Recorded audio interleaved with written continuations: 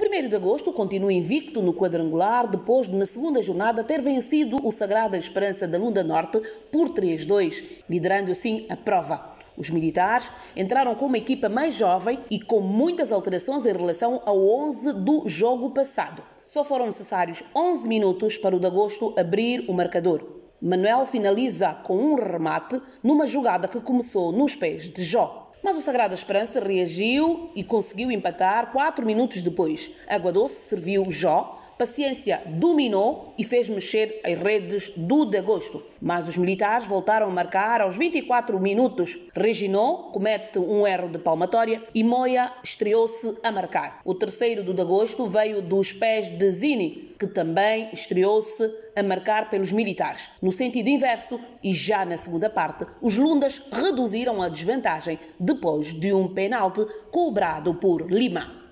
Creio que aquilo que fizemos foi pouco na segunda parte.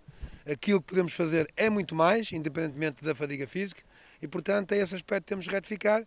Façam o adversário, que nos dificultou sempre com, com todo o mérito e, e com todo o, o, o, sucesso. Período muito longo sem jogos.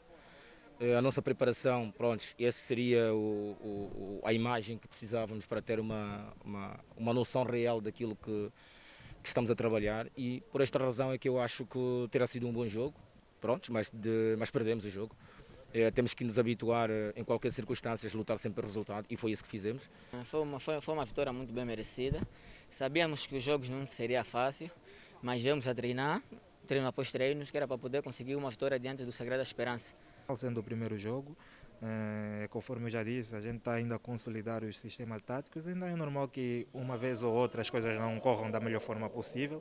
Outro Mundo Fora da Época joga-se na TV Belas. Fique ligado ao nosso canal no YouTube e na página oficial www.tvbelas.com. Aceitanos que somos TV Belas, feito com amor para a sua casa.